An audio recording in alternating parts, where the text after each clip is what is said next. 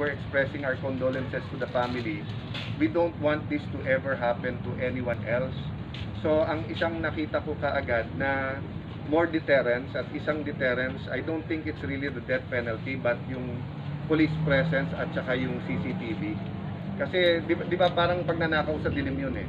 The mere fact na ilawan mo, lilipat ng lugar yung magnanakaw kasi ayaw niya dun sa sa maliwanag dahil mahuhuli. So how, how do we keep uh, upgrading our facilities dun sa prevention?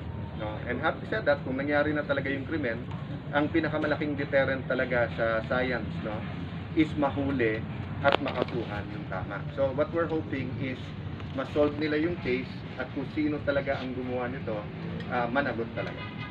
Controversial issues.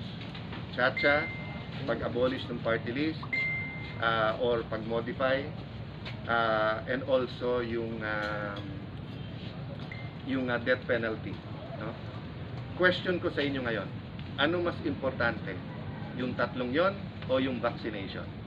Kaya sabi ko kahapon, eyes on the ball. No? Kailangan ang gobyerno BFF ng tao. BFF ng tao ang gobyerno. Ano po ang BFF? Better, faster, forever. We have to give better services. Medyo nahuli tayo, minsan nagda-drop ang ball. Tignan mo Bayanihan 1 and 2, hanggang ngayon, hindi lahat ng pondo doon at programa na implement. Sa budget na pirmahan ng maaga, sana ma-implement na maaga at mag, ah, faster. Lahat ng ibang bansa, nagsisimula na magbakuna, tayo nagro-roadmap pa lang.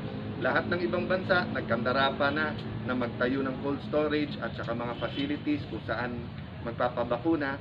Tayo, pinapakita pa lang yung konsepto, wala pang eksaktong ah, plano. Forever, kasi kung ano issue of the day, lahat tayo doon nakatutok. So, I'll give you an example sa death penalty. Alam nyo naman yung stand ko, di ba? Having said that, timing yung issue eh. Gusto ba natin makalaban yung mga lead- religious leaders kas- kasama mga pare na imbis na nag-uusap tayo ngayon na Father, tulungan niyo po kami na kumbinsin ang tao na tama yung bakuna.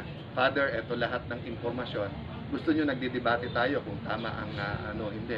Sa civil society, ah, sa iba't ibang grupo, alam naman natin kailangan natin ng federalism. Alam natin kailangan baguhin ng konstitusyon. Pero gawin mo right now yan, yan ang debate everywhere, imbis na yung vaccination. So sa akin, ibalik natin sa pinaka-importante sa ngayon, buhay at kabuhayan. And the single biggest factor now is the vaccination. So pasensya nyo na kung hindi ko sasagutin diretso ano ang stand o anong kailangan gawin dito. Any other issue naman na maisasabay natin na may benefit sa tao, walang problema. Pero any issue na madidivide tayo at may kadibati tayong matindi at mag-aaway-away tayong mga Pilipino and ihihigupin ang ating energy, ilipat na lang natin dun sa sa vaccination. Tingnan mo, ilan sa mga VIPs o may kaya sa ating bansa eh, nakakapag-vaccinate na eh. Naipapasok na nila eh. Samantalang ang ordinaryong ah, health worker na nasa health center, nasa barangay, nasa ospital, wala pa. Di ba? Kasi nga, hindi tayo nakafocus sa pinaka-importante na kailangan sa atin. Sir, your stand is wag munang pag-usapan. Party system. Ang isang inaano dyan is yung nakakapasok yung ibang enemy of the state sa party list system. You can address that with the present laws or strengthen present laws without amending the Constitution. Kasi di ba lahat naman ng public officials merong oath, Constitution and laws of the Philippines. So, alam nyo naman, ako I'm very pro dun sa law enforcement. But the law enforcement and the intelligence group, ang laki-laki ng intelligence fund, has to also come up with the evidence against them. Eh, Ma- madali masyado yung sa'yo, palitan ng batas para yung mga kaliwa at yung mga ah, ano. So, unang-una, hindi pinagbabawal ng konstitusyon natin na maging kaliwa ka. Ang pinagbabawal, maging rebelde ka at gumamit ka ng